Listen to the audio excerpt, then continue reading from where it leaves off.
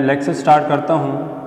सबसे पहले जो चैप्टर है आपका फिजियोलॉजी सब्जेक्ट है फार्मेसी टेक्नीशियन फ़र्स्ट ईयर का। वहाँ से हम स्टार्ट करेंगे। तो पहला चैप्टर है जो आपका वो है इंट्रोडक्शन ऑफ़ फिजियोलॉजी तो इंट्रोडक्शन ऑफ़ फिजियोलॉजी से स्टार्ट करते हैं। सबसे पहले introduction of physiology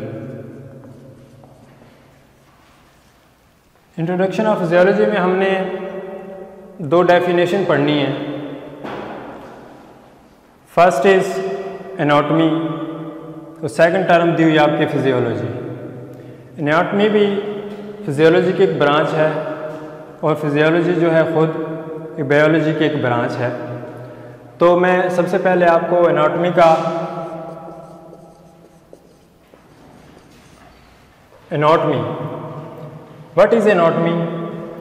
Anatomy composed of two words ana plus tomy.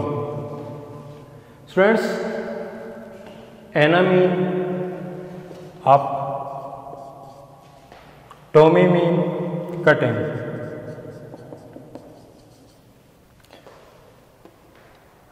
Ana mean up, tomy mean cutting. Mean के इनॉटमी में आप जो बॉडी ऑर्गन हैं बॉडी पार्ट्स हैं, उनको डाइसेक्ट करके पढ़ोगे, इनके कट करके पढ़ोगे, किसी भी ऑर्गेनिज्म है, उसका अगर बॉडी पार्ट आप ले रहे हो, उसके हिस्सों को आपने डिवाइड करके कट करके स्टडी करना है।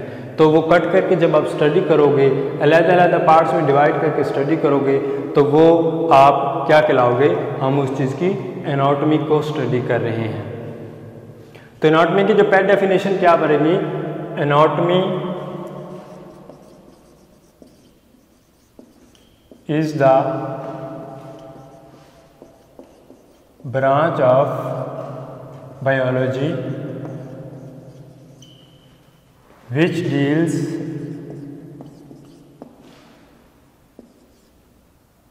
which deals with the study of structure, which deals with the body structure.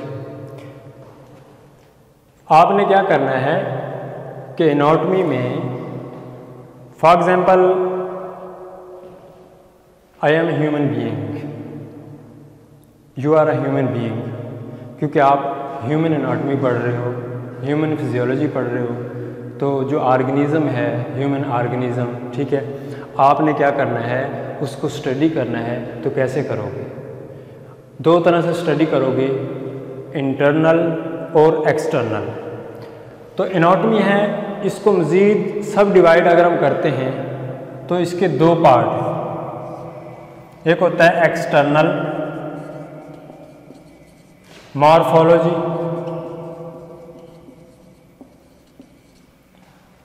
दूसरा होता है internal morphology internal morphology external mean बैरूनी morphology composed of two word morphology morpho का मतलब होता है structure shape logy mean already आपको पता है स्टडी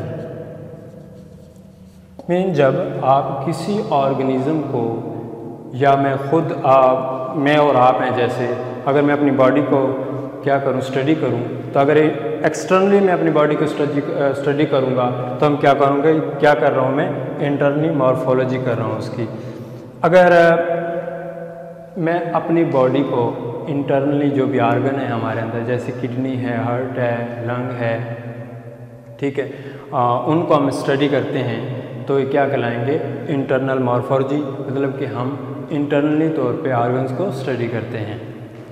तो ये एनाटॉमी था अब हमने पढ़ना है फिजियोलॉजी फिजियोलॉजी क्या है? फिजियोलॉजी दो वर्ड से मिलके बना है।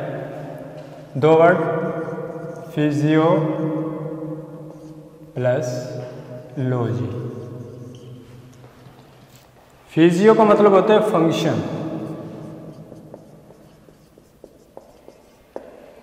प्लस लॉजी का मतलब होता है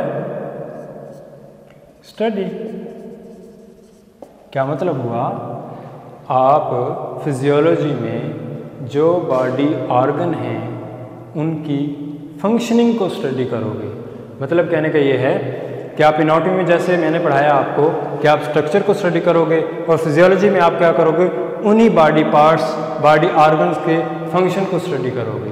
तो हम क्या कहते हैं फिजियोलॉजी की जो डेफिनेशन बनेगी, वो क्या होगी? Physiology physiology is the branch of biology which deals with the study of body function mean के आपकी बॉडी स्टडी आपकी बॉडी जब फंक्शनली तौर पे वर्क करेगी फ़ंक्शन करेगी, जो फ़ंक्शन स्टार्ट होगा बॉडी का, चाहे वो कोई भी सिस्टम हो, जैसे रेस्पिरेटरी सिस्टम है डाइजेस्टिव सिस्टम है सर्कुलेटरी सिस्टम है तो ये सारे सिस्टम जब हम स्टडी करेंगे, वो क्या होंगे? आर्गन मिल के एक क्या बनाते हैं? सिस्टम बनाते हैं ना? सिस्टम बनाते हैं तो वो सिस्टम जब फंक्शनली तौर पे हम उनको स्टडी करेंगे तो हम क्या कहेंगे? फिजियोलॉजी कहेंगे उसे।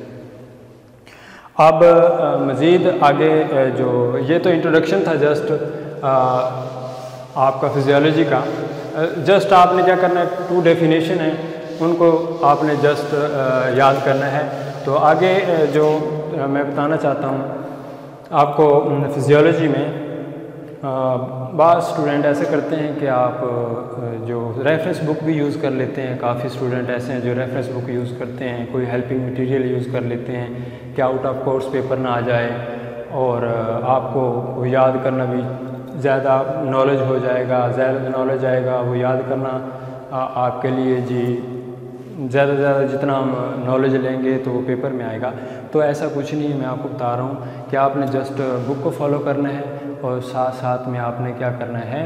आप वो साथ साथ में आप हेल्पिंग बुक जो भी आए वो कोई यूज़ नहीं करनी है आपने हेल्पिंग जस्ट आपने वो यूज़ करनी है जो आपको कॉलेज से मिलेगी। एनाटमी और फिजियोलॉजी के जो पेपर हैं आपके बुक में से ही आएँगे। और आपका जो पेपर पैटर्न है, मैं किसी दिन आपको वो भी समझाऊँगा कि पेपर पैटर्न कैसे आता है। एनाटमी में से कितने क्वेश्चन आएँगे? फिजियोलॉजी में कितने क्वेश्चन आएँगे? नेक्स्ट जो टॉपिक हमने स्टार्ट करना है कल आ, वो टॉपिक जो स्टार्ट करना है उस वो है जी सेल का। सेल आपके बुक में सेल की डेफिनेशन दी हुई है सेल की टाइप्स दी हुई हैं और सेल की ऑर्गनली दी हुई है। लेकिन हमने क्या करना है क्योंकि ये सेल वाला जो चैप्टर है ये इनिशियल चैप्टर है आपका। अगर आपकी बेस है, समझ रहे हैं। आगे नेक्स्ट आप स्टडी करोगे तो ये बेस है, अगर इस चीज़ को आपने अच्छी तरह से समझना है। अगर सेल को आप फर्दर अच्छी तरह समझा, आपको टिश्यूज़ समझ आएँगे। टिश्यूज़ का नॉलेज आपको होगा तो आपको फिर जॉइंट ये सीक्वेंस से चलता जाएगा। तो इसलिए मैं आपको सेल के बारे में जो कॉन्टेंट्स हैं सेल के केवल खुआ देता हूँ, जो हम इस चैप्टर में पढ़ने वाले हैं। कंटेंट्स का मतलब होता है कि मैं पूरे चैप्टर को समराइज़ कर रहा हूँ कि कौन कौन से टॉपिक कौन कौन से इसमें पॉइंट हमने पढ़ने हैं नेक्स्ट लेक्चर्स में। फ़र्स्ट ऑफ़ ऑल हमने पढ़ने हैं introduction of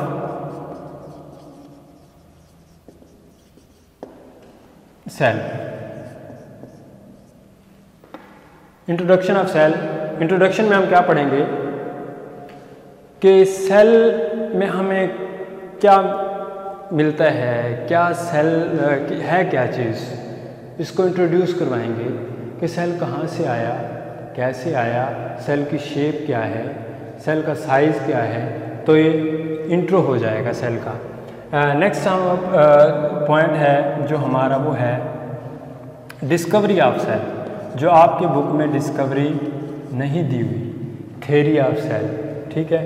तो डिस्कवर करने का मतलब होता है दरियाफ्त करना, किसी भी डिस्कवरी ऑफ़ सेल कि हम सेल को डिस्कवर किसी ने ज़ाहरी बात कोई चीज़ आ जाती है तो वो कहाँ से आई? किसी ने दरियाफ्त किया उसको। तो उसको दरियाफ्त करने के लिए रिसर्चर्स और साइंटिस्ट की, जहरी बात है, उन्होंने वर्क किया होगा। तो रिसर्चर्स और जो साइंटिस्ट हैं, उनको हम स्टडी करेंगे। तो थर्ड पॉइंट है जो यहाँ पे पढ़ना है हमने structure of cell structure of cell कि सेल के स्ट्रक्चर के बारे में पढ़ना है। सेल किस चीज़ से मिलकर बना है? सेल की कंपोजिशन क्या है? ठीक है, ये सारा कुछ हम किसमें पढ़ेंगे? स्ट्रक्चर में पढ़ेंगे। मज़ीद इसको अगर मैं फर्दर डिवाइड करूँ स्ट्रक्चर को, जो हमने स्ट्रक्चर में पढ़ना है, वो सबसे पहले हम न्यूक्लियस के बारे में बात करेंगे। न्यूक्लियस के बारे में बात करेंगे। फिर न्यूक्लियस के बाद, बात करने के बाद फिर हमने क्या करना है? साइटोप्लाज्म के बारे में बात करेंगे। साइटोप्लाज्म के बात करने के बाद फिर हम इसकी ऑर्गेनिल्स के बारे में बात करेंगे। ये ऑर्गेनिल्स के बारे में। यूँ ये चैप्टर हमारा क्या हो जाएगा? समराइज हो गया। आपको पता होना चाहिए कि सबसे पहले हम क्या पढ़ेंगे? सेल क्या है? Funda, the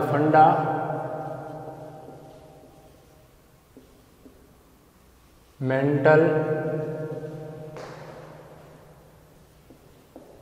unit of life is called cell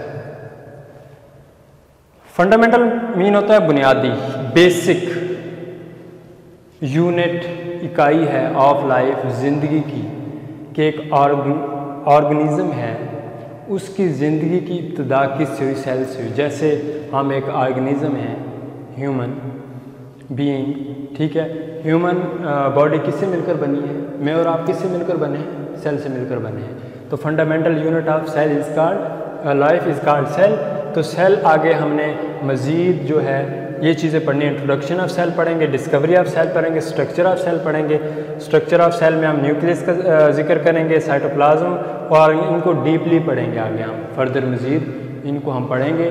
तो आ, मैं आज के लिए आई थिंक आपको मैंने इंट्रोडक्शन दिया है जस्ट एनाटॉमिक ऑफ़ फिजियोलॉजी का और साथ साथ में सेल के बारे में थोड़ा बहुत बताया। ये नेक्स्ट चैप्टर आपको स्टार्ट करेंगे इन कल से।